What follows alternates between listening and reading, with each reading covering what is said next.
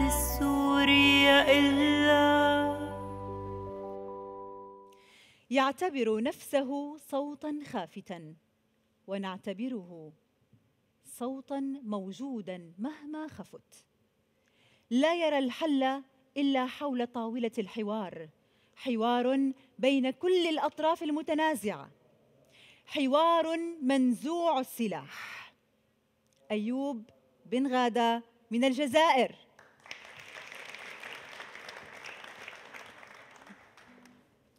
مساء الخير. لا حل للمأساة السورية إلا بالجلوس على طاولة الحوار. لكن لكي تدرك هذا عليك أولا أن تتخلص من طائفيتك وأن تنزع كل الحقد والرغبة في الانتقام الموجودة في قلبك لكي لا تتشوه الصورة لديك. لا حل موجود سوى هذا الحل وهو السبيل الوحيد.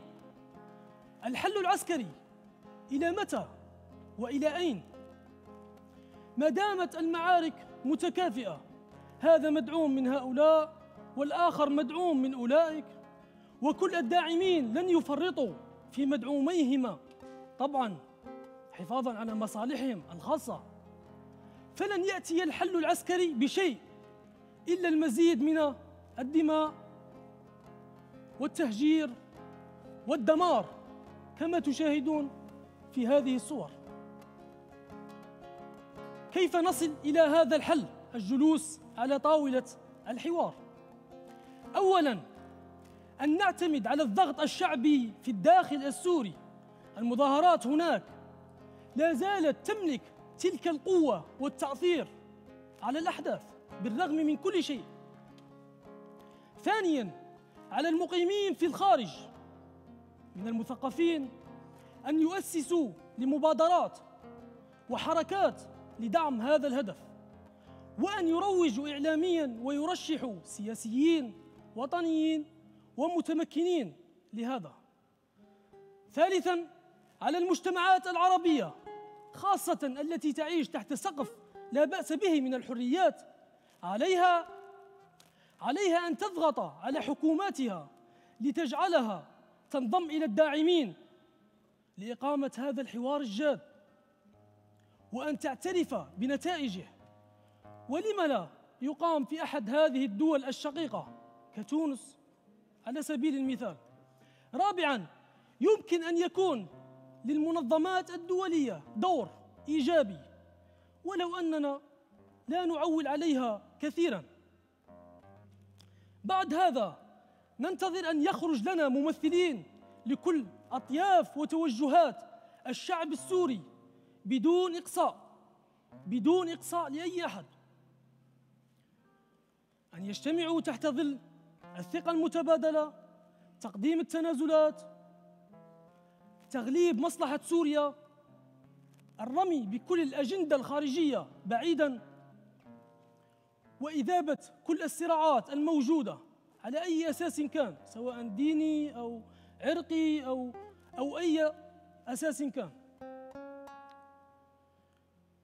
ننتظر بعد هذا خطة طريق للمرحلة القادمة. من تأسيس مجلس وطني مؤقت لتسيير البلاد. ومن محاكمة كل المتسببين في هذه المأساة محاكمة عادلة وشفافة ومتلفزة ليشاهدها الجميع. ويا ليت تكون من السوريين أنفسهم. في حال قام أحد الأطراف برفض الحوار أو انسحب وأصر على حمل السلاح هنا يجب على الجميع هنا يجب على الجميع أن يتوحدوا لمحاربته وأن يتوفر الدعم المادي واللوجستي والشعبي لهذا. وفي الأخير سوريا اليوم تنهار.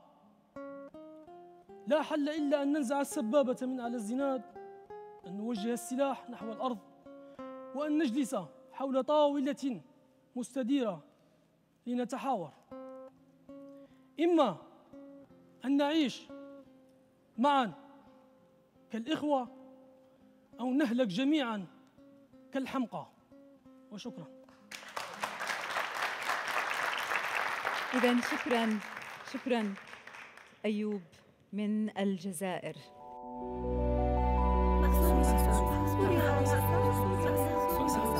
لا